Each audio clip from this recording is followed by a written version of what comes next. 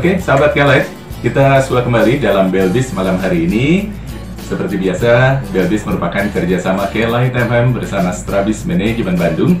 Dan malam hari ini kita akan mengupas satu topik yang sangat menarik, bagaimana jika Anda, para wirausaha bergabung dengan koperasi. Dan malam hari ini, seperti biasa, kita sudah kehadiran Pak Meriza Henry dari Strabis Manajemen Bandung. Ya. Selamat malam, Pak Mer. Malam, Kang Tujang, apa Ya. kabar? Baik, baik, Pak Mer. Sekarang saya nanya Kang Tujang, bukan Kang Tujang nanya saya. Maklum lah Kang, tema kita menarik malam ini. Iya, iya, iya. Nah, jadi kita bahas tentang UMKM itu atau entrepreneur itu Mhm. harus mulai sadar dengan adanya koperasi dan Iya. bahkan memanfaatkan koperasi Iya. Kang. Nah ini mau kita bahas malam ini Kang. Oke, silakan Pak Mer. Siap. Iya. siap.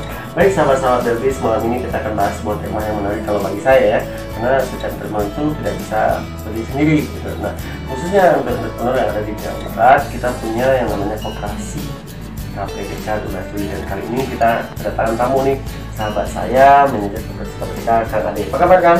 Luar biasa. Alhamdulillah. Waalaikumsalam warahmatullahi wabarakatuh Kang, bicara koperasi KPDK nih apa sih koperasi KPDK ini dan bagaimana uh, kegiatan bisnisnya? Ya, Koperasi KPDK ini adalah koperasi eh, pegawai dinas koperasi. Namun eh, tahun 2018 ini kita akan coba ekspansi Mhm. eh, untuk jenis usaha dan segala macamnya, termasuk keanggotaannya. Nah, kita ke depan akan coba membantu teman-teman wirausaha di Hmm. Jawa Barat agar bisa bergabung dengan KPDK, Ah. kemudian menjadi anggota KPDK dan kita akan berusaha secara bersama-sama bukan itu punya dinas kan? Nah itu tadi kayak Ah. katakan bahwa KPDK ini koperasi pegawai dinas. Ah, Nah itu untuk brand itu memang Hmm. ya begitulah karena memang dibentuk oleh eh, tokoh-tokoh koperasi di Jawa Barat terutama yang eh, di dinas koperasi. Tapi sekarang kita out of the box. Kita coba bantu masyarakat. Kita coba eh, bantu teman-teman yang akan memulai usaha, Oke. baik dari sisi permodalan, kemudian eh, dari sisi berkooperasinya juga kita eh, lakukan pendidikan edukasi kepada mereka Oke. supaya mereka menjadi anggota yang mengerti Hmm. dan paham tentang koperasi yang sesungguhnya. Oke, jadi kalau begitu uh, sahabat-sahabat Belbis ini yang berbisnis boleh dong kan ikut? Tentu boleh.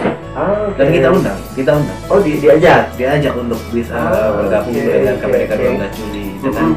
persyaratan dan Mhm. ketentuan yang memang Apa tuh contohnya kan? Pertama, ketika uh, menjadi anggota KPDK bergabung untuk menjadi anggota KPDK uh, membawa apa namanya KTP dan kartu Oke, keluarga, membayar simpanan pokok sebesar Berapa?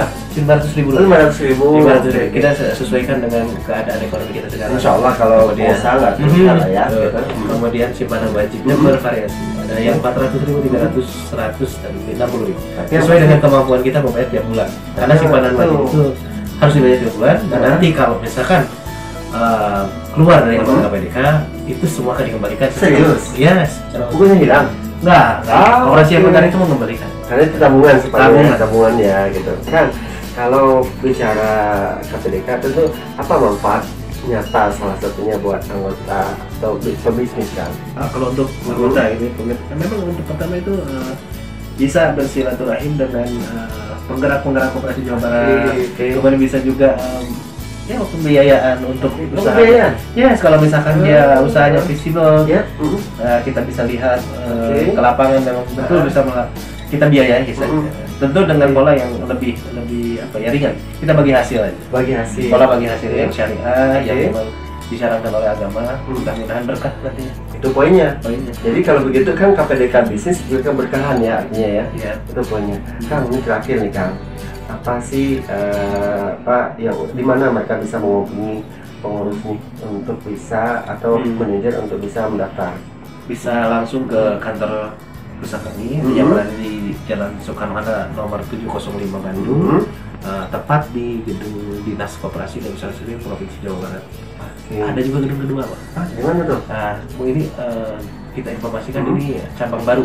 Cabang, Nah, Insya oke. Allah bulan depan kita udah grand opening. Oke. Itu berada di Jalan Al Jawami nomor 101 Cileunyi Bandung. Dengan bisnis tadi yang berarti sama ya? Iya sama. kita? Kita kita bisa Oke. eh, kalau memang kita berada rumah tinggal kita berada di wilayah Hmm. Bandung Timur Hmm. itu dekat lebih dekat ke Cileunyi. Jatinangor dan sekitarnya. Silakan ditunggu oleh Peluang ya. Yes, yes. Baik, baik sahabat-sahabat Belbis itu rasanya nyata ya bahwa kooperasi itu bisa kita manfaatkan buat ke bisnis karena itu baik terus nantinya yang sebuah informasi bagaimana Anda semua bisa memanfaatkan koperasi untuk membantu atau mengembangkan usaha Anda. Kita akan suap kembali di Belbis minggu depan. Sil silakan terus simak Belbis bersama Kelai FM setiap Jumat pukul 19 lebih 15 sampai 20 lebih 15 menit. Kita akan suap kembali di minggu depan.